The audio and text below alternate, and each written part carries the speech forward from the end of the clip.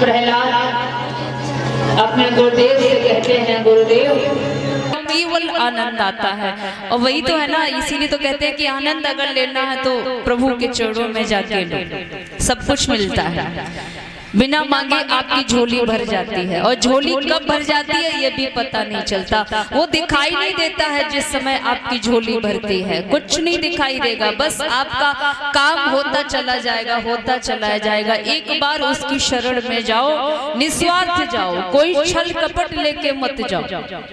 और छल कपट होगा तो कभी ज़िंदगी में तुम्हारा काम होने वाला नहीं। स्वार्थ से मत जाओ प्रभु के दरबार में बस इतना है ना?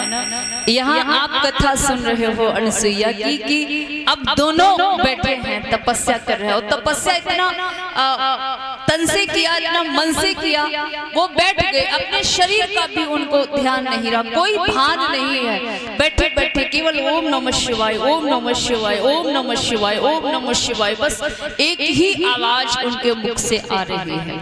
भगवान प्रसन्न हुए और भगवान जब प्रसन्न हुए हैं तो आज दर्शन देने के लिए आए प्रभु। भोलेनाथ दर्शन देने के लिए आए हैं। अनुसुईया जी को किस तरह से महाराज देखेंगे? सभी मैया बोलेंगे